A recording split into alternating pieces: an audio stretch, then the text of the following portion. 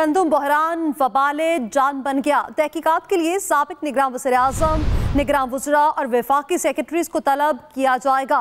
वजी अजम शहबाज शरीफ कहते हैं, किसानों की मेहनत को किसी की गफलत की भेंट नहीं चढ़ने दूँगा। किसानों को उनकी मेहनत का मुआवजा बर वक्त पहुँचाएँगे। अफसरान गंदुम खरीदारी के मौके पर जाकर खुद निगरानी करें।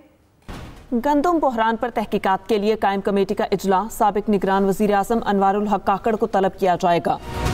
जराये के मुताबिक निगरान दौर की अहम शख्सियात वजरा और विफाकी सेक्रेटरी को भी तलब किया जाएगा। तहकीकत के बाद कार्रवाई के लिए मामला नैब और एफ़ आई ए के सबुर्द करने पर भी गौर किया जा रहा है। दूसरी जानब, मुल्क में गंदुम की मजमू सूरत हाल पर वज़ीर अजम शहबाज शरीफ की जेर सदारत लाहौर में इजलास हुआ।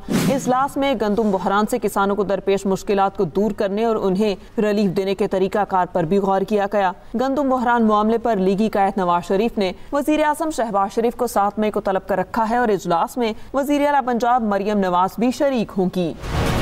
दूसरी जानब किसान गंदुम की सरकारी खरीदारी ना किए जाने पर परेशान दिखाई देते हैं। अब हम इतना नुकसान कर बैठे हैं कि सोच से भी ज़्यादा कोई ले, ले नहीं आ, लेने आता भी नहीं है। कोई तीन हज़ार कोई सताईस सौ कोई कैसे? हम तो जलील हो गए हैं। सरकारी दस्तावेजात के मुताबिक महकमा खुराक पंजाब ने पिछले साल सरकारी गंदम के इजरा में दो माह की गैर मामूली तखीर की। फ्लावर मिल्स के लिए सैंतालीस सौ रुपये मन की बुलंद कीमत मुकर करने से भी सरकारी गंदम की नक्कासी नहीं हो सकी थी।